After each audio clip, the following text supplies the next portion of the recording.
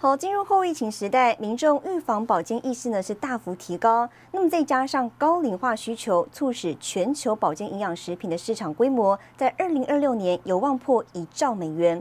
不过呢，相关新品上市，每年全球就有二点三万支。保健食品进入新战局，如何走出差异化，抢夺市占率，考验着厂商的智慧。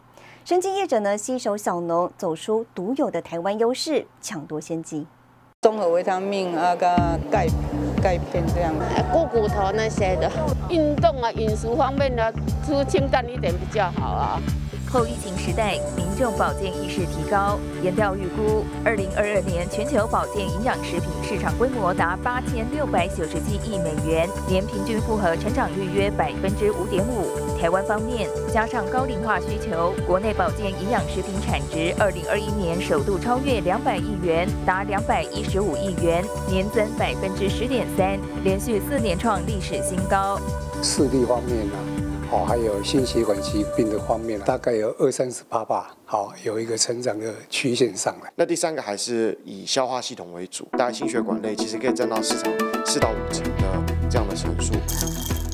台湾保健食品销售超过八成为内需。疫情发生后，整体保健营养食品产值从二零零三年的两百亿元到二零二一年达九百五十一亿元，相较二零二零年成长百分之四点九。随着疫情趋于常态化，物流及人流管制松绑，二零二二年出口金额升到两千两百五十二万美元，年增百分之十三点五。又以东协为最大外销市场，占百分之五十一点九，年增百分之二。十四点三，台湾真的是好山好水，我们的品质上呢，像农特产品方面，哦，都一直慢慢的走向一种诶有机的栽培，哦，网色栽培非常的多。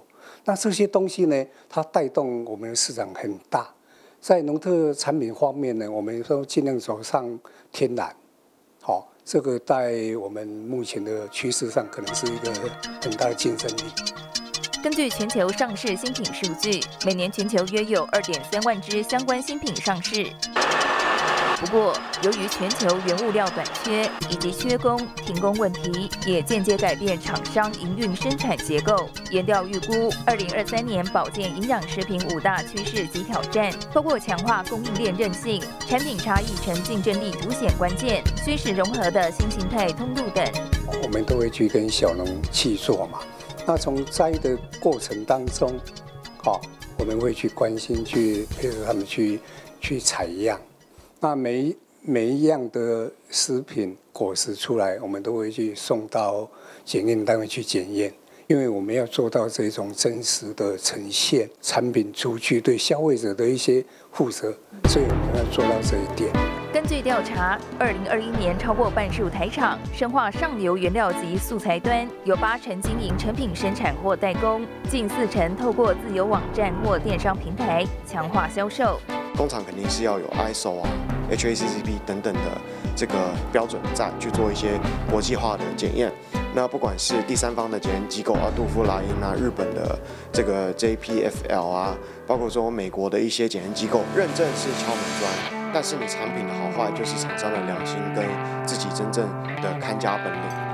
全球保健营养食品市场规模预估二零二六年突破一兆美元，保健食品进入新战局。台厂从本土出发，深耕在地，便捷国际，走出台湾独有竞争力，抢夺先机。